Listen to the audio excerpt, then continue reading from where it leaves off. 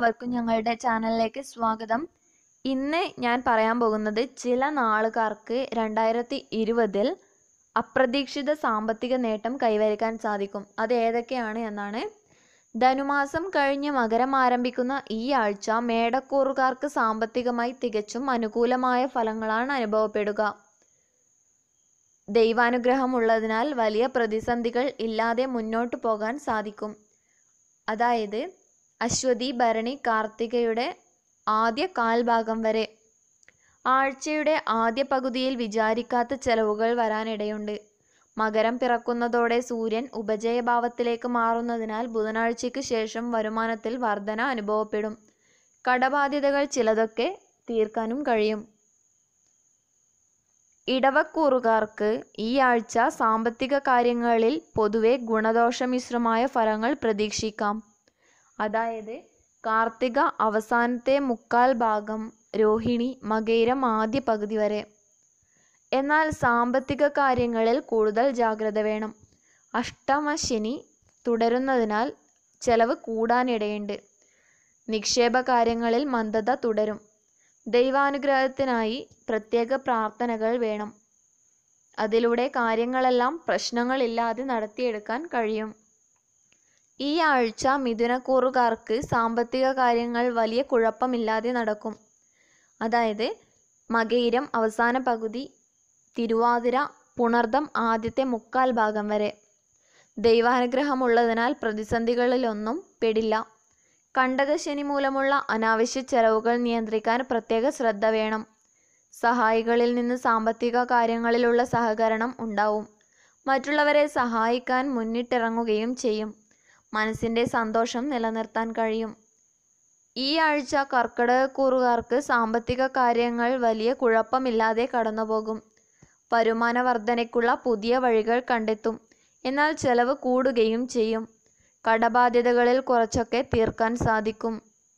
പുണർദം അവസാന കാൽഭാഗം പൂയം മായില്യം എന്നീ നക്ഷത്രക്കാർക്കാണ് ഇത് ബാധകമായിട്ടുള്ളത്. യാത്രയ്ക്കായി പണം ചെലവാക്കേണ്ടി വരും.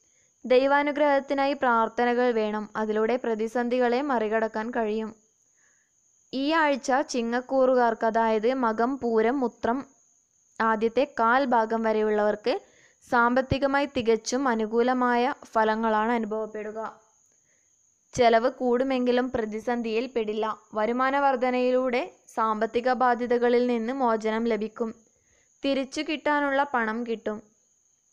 സർക്കാരിൽ നിന്നുള്ള സാമ്പത്തിക ആനുകൂല്യങ്ങൾ അല്പം വൈകും. പുതിയ ഗൃഹോപകരണങ്ങൾ വാങ്ങാൻ കഴിയും. ഈ ആഴ്ച കന്നിക്കൂറുകാർക്ക് അതായത് ഉത്രം അവസാനത്തെ മുക്കാൽ ഭാഗം അത്തം ചിത്തിര ആദ്യ പകുതി വരെ ഉള്ളവർക്ക് ധനഭാവശുദ്ധി ഉള്ളതിനാൽ സാമ്പത്തിക കാര്യങ്ങളിൽ വലിയ പ്രതിസന്ധി നേരിടേണ്ടി വരില്ല. അനാവശ്യ കാര്യങ്ങളിൽ വിചാരിക്കാത്ത ചെലവുകൾ അനുഭവപ്പെടും. അതുകൊണ്ട് പണം ചെലവഴിക്കുന്ന കാര്യത്തിൽ പ്രത്യേക ജാഗ്രത വേണം. ധനാധിപന് ശുഭബന്ധം ഉള്ളതിനാൽ നേരത്തെയുള്ള നിക്ഷേപങ്ങളിൽ നിന്ന് വരുമാനം കിട്ടാനിടയുണ്ട്.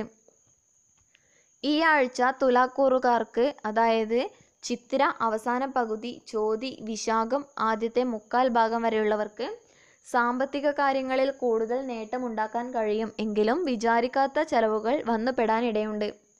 വലിയ സാമ്പത്തിക പ്രശ്നങ്ങൾ ഇല്ലാതെ കടന്നുപോകും. ധനാധിപൻ അനുകൂലത്തിലായതിനാൽ പുതിയ വരുമാന സാധ്യത കണ്ടെത്തുകയും ചെയ്യും. ദൈവാനുഗ്രഹമുള്ളതിനാൽ മനസ്സിന് സ്വസ്ഥത അനുഭവപ്പെടും. വൃശ്ചിക കൂറുകാർക്ക് അതായത് വിശാഖം അവസാനത്തെ കാൽഭാഗം അനിഴം തൃക്കേട്ട നാളുകാർക്ക് സാമ്പത്തിക കാര്യങ്ങളിൽ വലിയ പ്രതിസന്ധിയില്ലാതെ മുന്നോട്ട് പോകാൻ കഴിയും. എങ്കിലും ആഴ്ചയുടെ ദിവസങ്ങളിൽ ആദ്യ ദിവസങ്ങളിലൊക്കെ ചിലവ് കൂടുതലായിരിക്കും. ദൈവാനുഗ്രഹം ഉള്ളതിനാൽ പ്രതിസന്ധികളിൽ ഒന്നും ചെന്നപ്പെടാൻ ഇടയില്ല. കിട്ടാനുള്ള പണം കിട്ടാനിടയുണ്ട്. സാമ്പത്തിക കാര്യങ്ങളിൽ ഉണർവ് ഉണ്ടാക്കാൻ കഴിയും. വീട്ടിൽ സമാധാനം നിലനിർത്താൻ കഴിയും. ധനുക്കൂറുകാർക്ക് അതായത് മൂലം പൂരാടം ഉത്രാടം ആദ്യത്തെ കാൽ ഭാഗം വരെയുള്ളവർക്ക് ഈ ആഴ്ച കാര്യങ്ങൾ കുറേയൊക്കെ അനുകൂലമാകും. ചെലവ് കൂടും. എങ്കിലും വരുമാന വർധന അനുഭവപ്പെടും. കണ്ടകശനി തുടരുന്നതിനാൽ പ്രത്യേക പ്രാർത്ഥനകൾ ആവശ്യമാണ്. അതിലൂടെ സാമ്പത്തിക കാര്യങ്ങളിൽ വലിയ പ്രതിസന്ധി കൂടാതെ കഴിഞ്ഞുകൂടും. ആഴ്ചയുടെ ആദ്യ പകുതിയിൽ വരുമാനത്തിൽ വർധന അനുഭവപ്പെടും. ദൈവാനുഗ്രഹമുള്ളതിനാൽ മനസ്സിന് സ്വസ്ഥത കുറയും. ഈ ആഴ്ച മകരക്കൂറുകാർക്ക് അതായത് ഉത്രാടം അവസാനത്തെ മുക്കാൽ ഭാഗം തിരുവോണം അവിട്ടം ആദ്യ പകുതി വരെയുള്ളവർക്ക് സാമ്പത്തിക കാര്യങ്ങളിൽ കൂടുതൽ നേട്ടമുണ്ടാക്കാൻ കഴിയും. എങ്കിലും വിചാരിക്കാത്ത ചില കാര്യങ്ങൾക്കായി പണം ചെലവാകും. കിട്ടാനുള്ള പണം തിരിച്ചു കിട്ടാൻ വൈകുകയും ചെയ്യും. ധനഭാവത്തിൽ ശുഭബന്ധം ഉള്ളതിനാൽ സാമ്പത്തിക പ്രതിസന്ധിയിൽ പെടുകയൊന്നുമില്ല. ഇടപാടുകളിൽ നിന്ന് പ്രതീക്ഷിച്ച ലാഭം ലഭിക്കും. ദൈവാനുഗ്രഹത്തിനായി പ്രാർത്ഥനകൾ ആവശ്യമാണ്. കുംഭക്കൂറുകാർക്ക് അതായത് അവിട്ടം അവസാന പകുതി ചതയം പൂരുരുട്ടാതി ആദ്യത്തെ മുക്കാൽ ഭാഗം വരെയുള്ളവർക്ക് സാമ്പത്തിക കാര്യങ്ങളിൽ പൊതുവെ ഗുണദോഷ മിശ്രമായ ഫലങ്ങളാണ് അനുഭവപ്പെടുക. ചില ദിവസങ്ങളിൽ ദൈവാനുഗ്രഹം വേണ്ടത്ര ലഭിക്കുന്നില്ലെന്ന് തോന്നും. സാമ്പത്തിക പ്രതിസന്ധികളിൽ നിന്ന് കുറേശ്ശെയായി കരകയറാൻ കഴിയും. ചില ദിവസങ്ങളിൽ പ്രതീക്ഷിക്കാത്ത വരുമാനം ലഭിക്കാനും ഇടയുണ്ട്. മനസ്സിന്റെ സ്വസ്ഥത നിലനിർത്താൻ കഴിയും. ഈ ആഴ്ച മീനക്കൂറുകാർക്ക് അതായത് പൂരുരുട്ടാതി അവസാനത്തെ കാൽ ഭാഗം വരെ ഉത്രിട്ടാതി രേവതി എന്നീ നാളുകാർക്ക് ധനഭാവ ശുദ്ധിയുള്ളതിനാൽ സാമ്പത്തിക കാര്യങ്ങളിൽ അനുകൂല ഫലങ്ങൾ അനുഭവപ്പെടും. സാമ്പത്തിക കാര്യങ്ങളെ ചൊല്ലി വലിയ മനപ്രയാസം അനുഭവിക്കേണ്ടി വരില്ല. പുതിയ വരുമാന സാധ്യതകൾ കണ്ടെത്തുകയും ചെയ്യും. കണ്ടകശനി മൂലമുള്ള തടസ്സങ്ങളെ മറികടക്കാൻ കഴിയും. കടബാധ്യതകളിൽ ചിലതൊക്കെ വീട്ടാൻ കഴിയും. കിട്ടാനുള്ള പണം കുറച്ചൊക്കെ തിരിച്ചു കിട്ടും. മനസ്സിന്റെ സമാധാനം നിലനിർത്താൻ കഴിയും.